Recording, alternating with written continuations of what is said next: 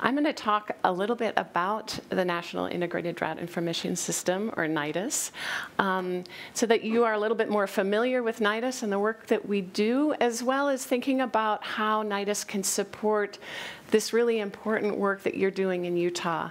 How can we best support your work, and how can you think about this work within a broader context of the work that NIDIS is doing? So just a little bit about NIDIS.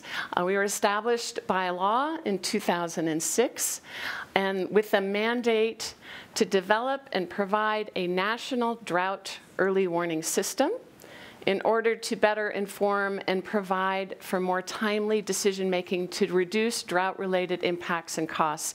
I underline those sections because I wanted to highlight that we're not just doing a bunch of research. The, the whole point of everything that NIDIS is doing is to focus on the goal of reducing drought-related impacts and costs. I think that also gives us a very broad mandate to do a lot of different activities that best meet your needs. So we're not stuck in one doing one particular thing. It's very broad, and that's why I want to hear from you what you need from us. So the way that NIDIS has interpreted this law is by establishing nine regional drought early warning systems. We have four regional coordinators. We're hiring two more right now. Um, I am the regional coordinator for the Intermountain West and the Southern Plains Drought Early Warning Systems. Seth showed this map yesterday of the Intermountain West Drought Early Warning System, of which Utah is part. And, um, and you can see it includes um, Colorado, Arizona, and New Mexico, and that was one of the reasons that we brought the drought coordinators from those states here to participate in this meeting so that we can think about drought within this broader context and think about drought early warning systems within this larger region. So I'm going to talk to you a little bit about the components of drought early warning systems. These are components that they, they were not just made up by me. Um, they are common components of early warning systems across all hazards, including like famine early warning systems. The first component is observations and monitoring. So um, Dave Simeral showed you uh, information about the U.S. Drought Monitor yesterday, and that is one aspect of monitoring of drought. So that fits within that bubble of observations and monitoring. Another one is predictions and forecasting. How are we forecasting drought? How are we ahead of drought in terms of understanding when it's coming? Of course, somebody said to me recently that um, drought early warning is actually just a little bit less late. So we're not too good at real advanced forecasting. But the seasonal to subseasonal forecasting fits into this bubble. That we had that conversation yesterday about getting a little bit ahead, more ahead of seasonal to subseasonal forecasting. Education and public awareness is really important. I think that's come up a lot in our discussions, uh, communicating with the public, as well as educating ourselves and others about what is drought, what is a drought footprint, what are the economic impacts of drought, how does it affect the most vulnerable in our populations. So that's within that bubble. Planning and preparedness, that's what we're all about at this meeting and interdisciplinary research and applications. And I'm going to show you some examples of the type of research and applications and other aspects of drought early warning systems that NIDIS has been investing in. Um, but first I'm going to tell you about NIDIS support to the overall drought, uh, drought early warning systems. So NIDIS supports uh, stakeholder engagement and training workshops like this, bringing folks together to share information, to share their knowledge, um, to train on what are new tools in observations and monitoring and predictions and forecasting, that type of um, uh, training and stakeholder engagement. We work a lot on adapting and transferring best practices and learning. For example, uh, the sharing from New Mexico and Arizona and Colorado in these workshops. How can we learn from what others are doing so that we're improving what we're doing um, everywhere across the US? NIDIS also has a mandate of uh, federal agency coordination. Part of the public law says NIDIS shall coordinate and integrate as practicable federal research in support of a drought early warning system. And you can see in these bubbles the federal agencies that NIDIS uh, works very closely with, like USDA, EPA, NASA. All of these federal agencies sit on NIDIS's executive council and we collaborate very closely with them. Another aspect of NIDIS support is um, support for operational climate and drought science, and this is where I'm going to give you some examples. Um, it, Seth showed this yesterday, Western Water Assessment's work. Western Water Assessment is one of the NOAA RISA teams, and NIDIS provides support to quite, uh, quite a few of the RISA teams, including um, some of Western Water Assessment's fantastic work. This is a, an example of their website that shows the Intermountain West Climate Dashboard with lots of great data and information and tools. I encourage you to check it out because it's got a lot of really good information uh, that might, you might find useful for monitoring drought and drought forecasting and drought impacts for Utah. And also their website shows a lot of the information on their current research projects. Seth talked about the, some of those projects yesterday, so I'm not going to go into great detail. Another example of uh, NIDIS support, uh, Cody talked about yesterday some of NIDIS's support for the National Drought Mitigation Center, including support to produce the U.S. Drought Monitor, the Drought Impact Reporter, and the North American Drought Monitor. Also, uh, NIDIS provides support to the Colorado Climate Center, which produces weekly Intermountain West Drought Early Warning System um, products and information. I would encourage you also to look at their website because it's a tremendous amount of information that's available for the entire region, including Utah. It includes precipitation, snowpack, stream, stream flow, surface water, uh, evaporative demand, uh, drought impact reports, drought outlook, there's a, huge amount of information there, and they produce this, um, this report weekly. So it's really good, up-to-date information. Another aspect that NIDIS uh, funds is assessment work. For example, the assessment of the 2017 Northern Plains drought. Um, and the goals of the drought are to better, uh, sorry, the goals of the assessment are to better understand flash droughts.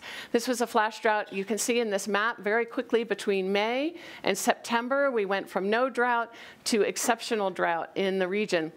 So the assessment is really trying to understand what are the causes of flash drought? What are the physical drivers of flash drought? How does this particular flash drought compare to other ones? With the ultimate goal of understanding how flash droughts contribute to wildfire and what can we learn across the drought early warning systems? What can we learn in other areas so that we're better prepared and understanding flash droughts better? Um, as most of NIDIS's work, this is done in partnership uh, with other organizations and entities, including the Canadian and US federal, state, local, and tribal entities.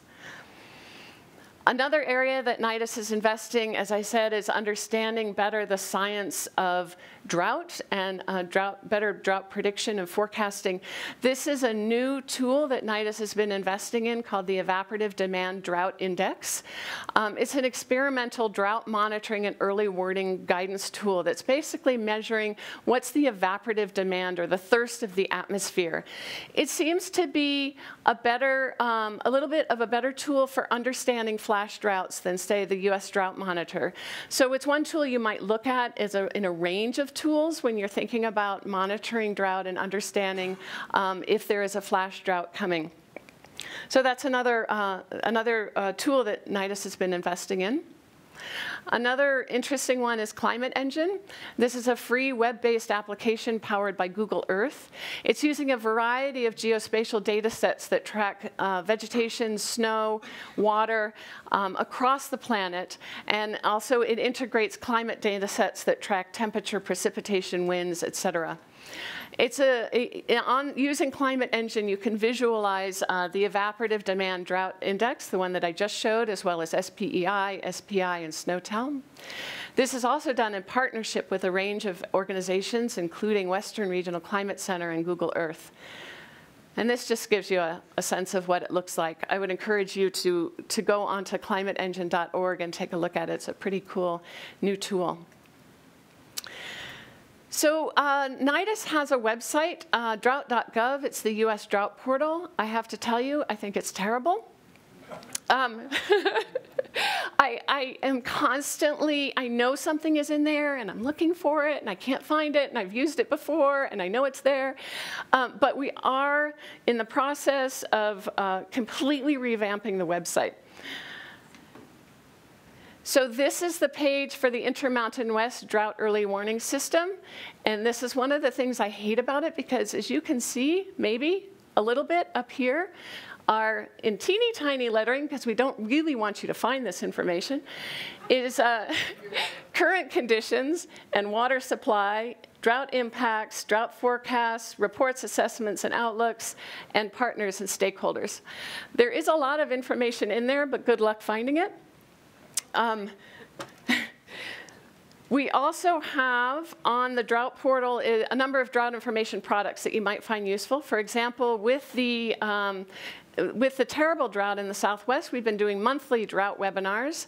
Those webinar recordings are on drought.gov.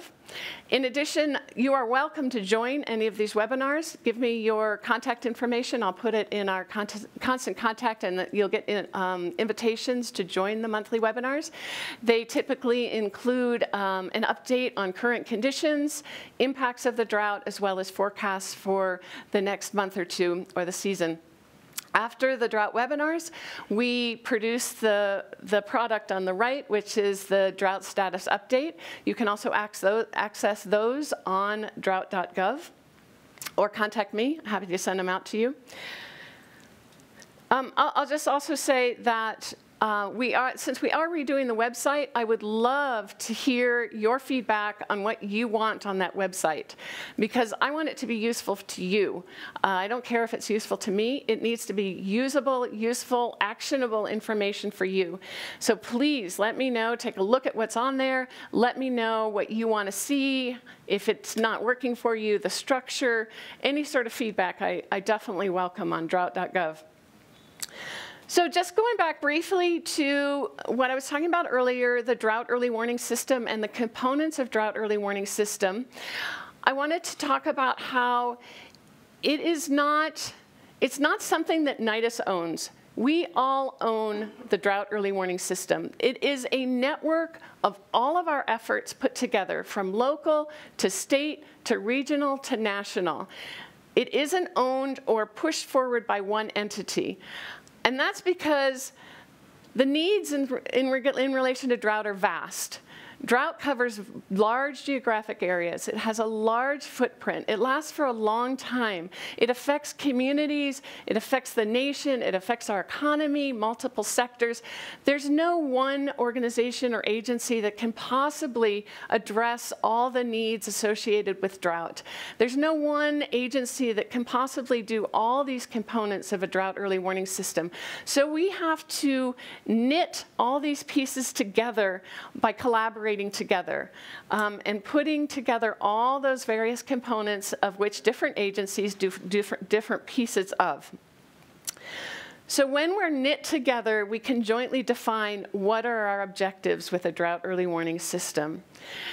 And once we define those objectives, we can align the science, the training, the information sharing, um, the planning and preparedness, we can all align together towards those objectives.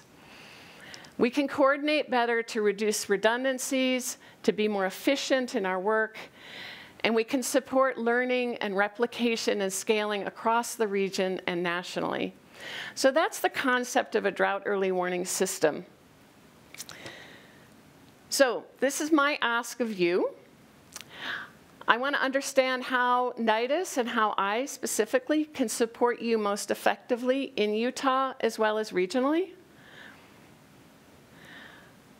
And I would ask you to think about your work within the regional drought early warning system.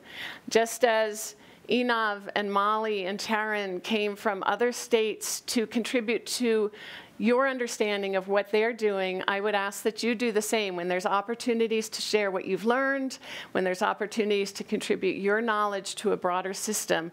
I would ask that you do that so that the regional drought early warning system continues to um, strengthen and improve. Then I mentioned this earlier, drought.gov is terrible right now. So I'd love your feedback on ideas so that uh, we can improve it and make it um, meet your needs. And then finally, as I mentioned, I have a stakeholder list for Intermountain West. If you would like updates and information about webinars that we're holding or uh, drought status updates. You won't get a ton of information from us, usually a monthly, um, a monthly e email with some information about what we're doing and how you might join. So please give me your, in, your details, your contact information if you want to be added to the stakeholder list. And that's it. Thank you very much. I look forward to working with you.